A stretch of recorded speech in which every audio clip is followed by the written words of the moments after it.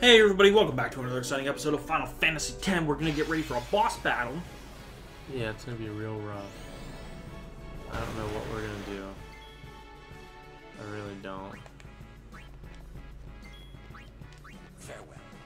We probably should farm for about eight hours. That's how bad this is gonna be. No, this shouldn't be bad.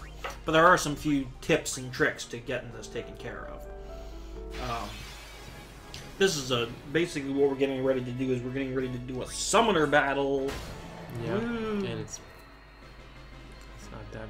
No, it's not too bad. There is a strategy though. Um, What's this? What's their strategy? Their strategy is the with the first Aeon that you fight. Um, the first thing he brings out is an Ifrit, and you think right away, "Oh my God, I should bring Shiva out." The problem is his overdrive is maxed out, and he does his super attack 1st mm-hmm. So he'll kill Shiva in one shot, which makes it kind of worthless to even burn her out right away. So the first thing we're gonna bring out is Valefor, because if he dies, who the fuck gives a shit? you know what I mean? So it is you. Why are you here? We rode the airship to the Calm Lands, then came to Bevelle. Maester Kinoc summoned us then, ordered us to deal with the traitors. You will fight us. The Temple's orders are law. Even if you hmm. are Lord Braska's flesh and blood. You're a traitor. His guardians. I don't see them.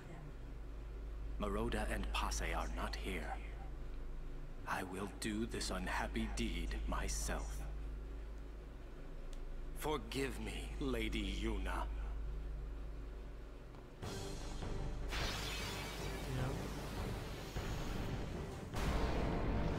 So, like I said, he'll summon Ifrit, and like I said, Ifrit's overdrive is uh, maxed out, and the first thing he'll use is his Hellblaze attack. Guys, I don't know about you guys, but when I farm, I, I fill up their uh, gauges too. mine. That's always helpful to, to use. So I would summon Valefor, So just and the first thing you'll want to do is, well, he'll probably die, but you want you want to do is guard because he might survive the attack. He ain't gonna survive. No. Because if he does survive, you at least by then you'd be able to use your overdrive. He ain't Do some damage. He ain't gonna make it now. He's gonna lose all that progress on his drive. He's gonna lose it all. Shield. Yep. Hope you get another turn. Shield.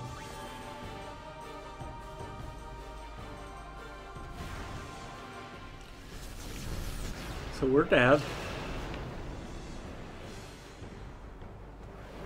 I don't know. With us shielding, we might be all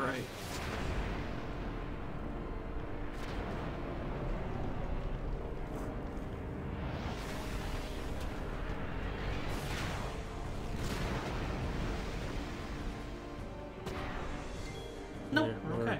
100% dead.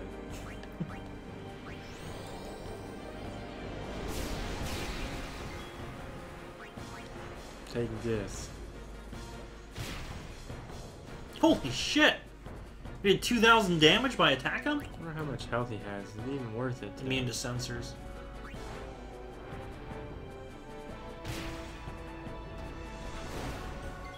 You were wondering how much health he has?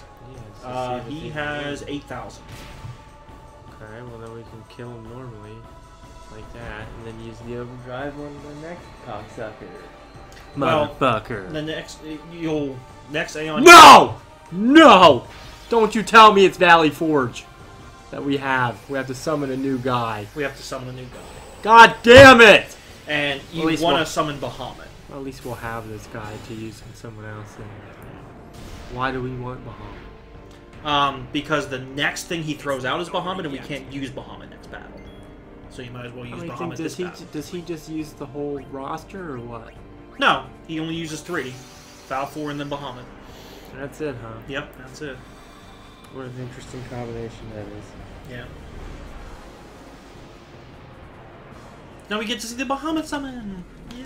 Yeah, because we weren't gonna see him. We haven't seen him before ever, ever, in any game. He's this is the first game Bahamut's in. This one right here. Hell, in seven he had like three fucking versions. That's how much they love Bahamut. I think he has two versions in this game. Does he? Yeah, I think Neo Bahamut is the other one. Mmm. Oh, you ain't got nothing, bitch. He has 12,000 health.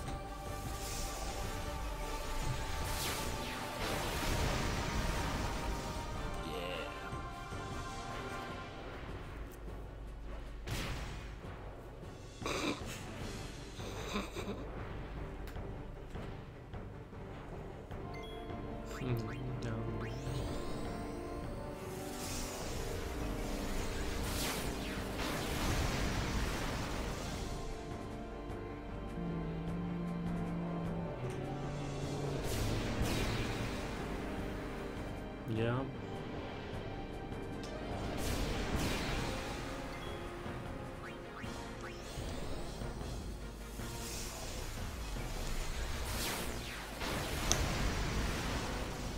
Nice.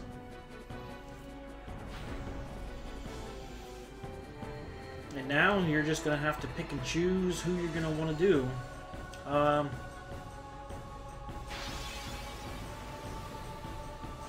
I mean, I think probably Sheev would probably be the best. Why would Sheev be the best? Because everyone knows dragons are are scared of cold. Is that- Just that- because, is like, that she's what it is? well, because first of all, she's your favorite, and second of all, because uh, she's the last summon to get before Bahamut, Okay. so she should be the strongest. And dragons breathe fire, so they're scared of cold. I cannot let you pass. You might as well let us pass, bitch.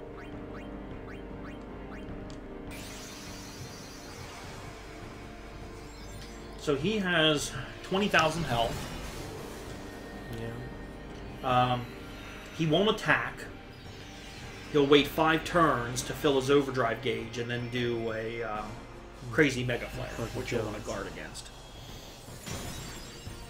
But it tells you it'll it'll bring up a number and be like one, two, you know, like how many more turns until he.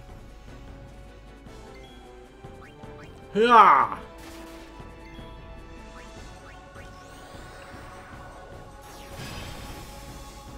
He's immune to everything. Five. Yeah, so he won't attack until he's done counting down.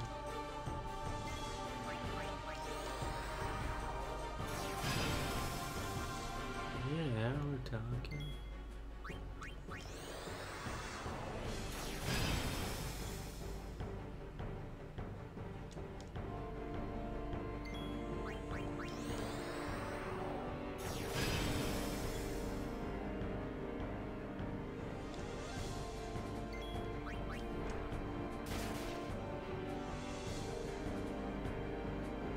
So now we want Now we want shield. to shield.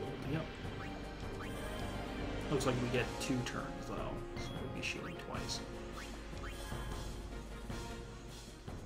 But we'll get to see Mega Flare. Because we will never get a chance to see Mega Flare. Yeah, yeah.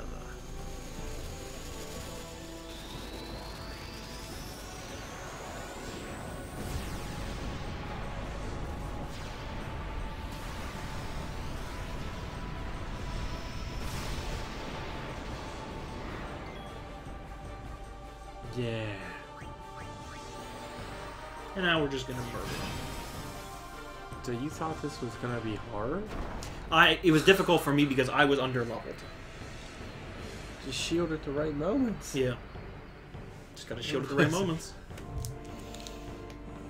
Under leveled my ass, boy. Yeah. Stay away. Yuna, let's go. No. There's a way to the surface up ahead.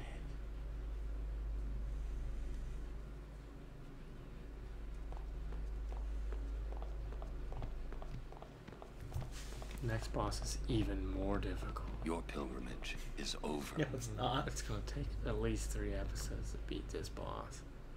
It takes like a minute, less than If you 30 throw Phoenix seconds. down, you jackass. I'm just kidding around. Because he's undead. He's an undead fish monster. Yeah. Alright, well, we're gonna go swimming next time Yeah, and we're gonna in the pool a, of despair. kill a boss with some healing items. fun, fun. We'll see you guys next time.